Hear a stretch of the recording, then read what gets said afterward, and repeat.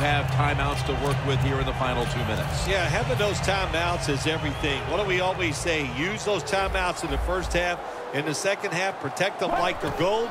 Give this offense and the coach credit. They saved a couple, and that's going to help them in this drive. Looking to go down the field here. Two hands on the football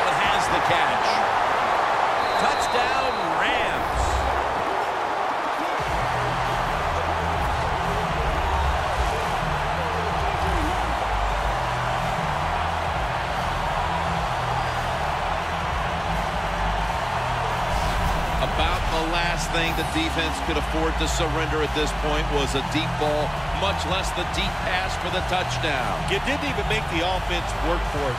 You gave up the long pass. The one thing you can't do